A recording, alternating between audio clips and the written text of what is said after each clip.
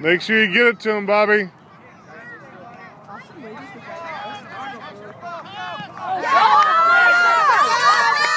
Go, Austin. Good job, Austin.